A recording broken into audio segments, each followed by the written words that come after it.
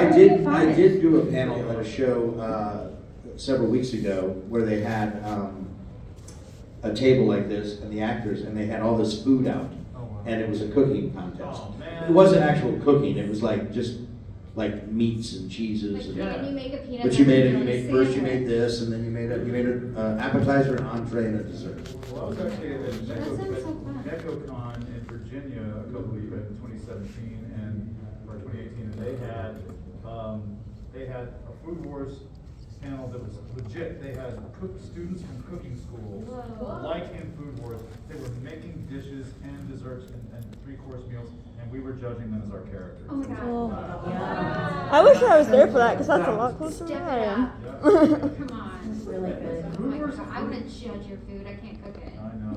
Food Wars to me is kind of a trip because I like playing this character because it's very, very unlike me. I really get to stretch because I'm not an intimidating, scary teacher dude, and I can't cook at all.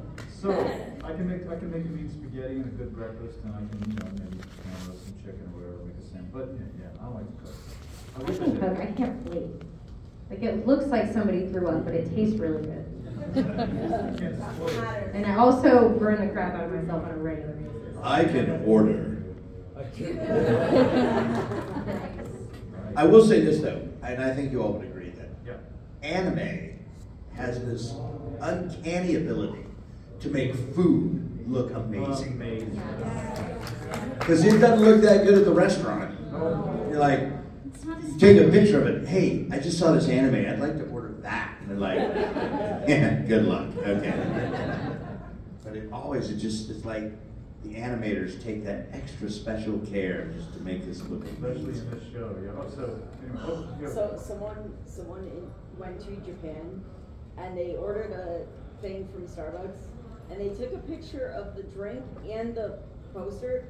It looks exactly the same.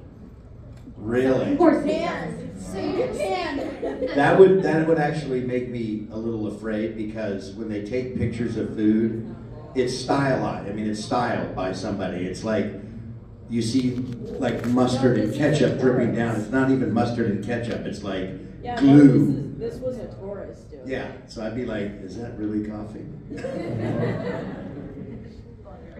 Butter. It's Ooh, like butter that coffee. joke- That joke by Mitch Hedberg, he's a really good comedian. He was like, he said, you know, you see these billboards for casinos, and every time you see a billboard for a casino, somebody's winning, but that only occasionally happens. It's like, why don't we? You wouldn't do that for something like Whataburger, somebody, somebody, somebody choking. This occasionally happens when you have a burger. You choke. Food is, yeah, food advertising. It's got somebody with diabetes. Does anybody have a question for us or anything? Uh, yeah. Right there. So a little bit of a two-parter. Um, have you tried cooking any of the recipes from the show? And but in general, what would be your favorite recipe? Like if you were to one, what would you want to make? No, I have not.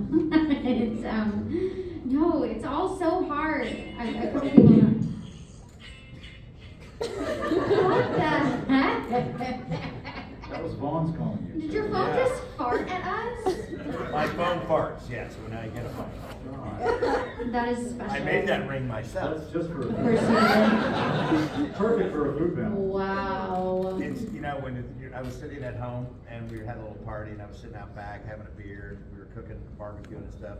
And I didn't realize I could do that in, uh, the app or whatever. And, uh, I was like, oh, uh, this is funny. And I started making my own ringtone. I was like, oh, hooray. Okay, y'all.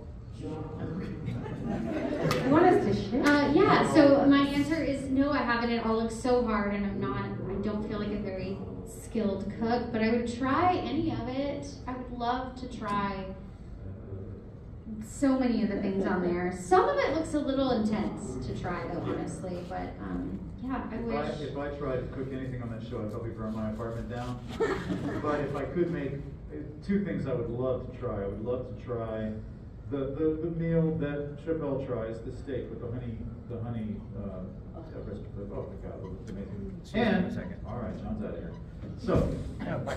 My daughter is calling me because her car is falling apart on the highway. Oh, no. Well, what's really sucky is my car. so. We're gonna have to make a video greeting for his daughter at the end of this. Um, and I'd like to try the bento box that Alice Nakiri brings in that box. That looks amazing. I would love to try it. Can't cook anything though, but I'd love to try it. I want to eat the rice with the jelly cubes on Oh, it. yes. Yeah. I also like really like steak fat. I imagine it would taste like steak fat. Every time we go eat, we're at a con, she, she orders steak, she says, they cut the fat off of it. Don't cut the fat off my steak! I get mad. It's All my favorite steak part. fat. I only want like three bites of steak. I want the fat. Oh my god, that's. I know my heart doesn't like it, but I do.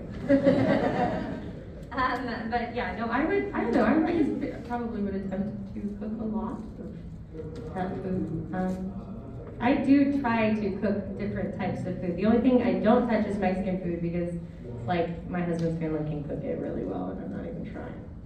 Um, but I, I go to like the Viet Hoa, like the Asian market, and I try to cook different things. Right. I make all types of food. You.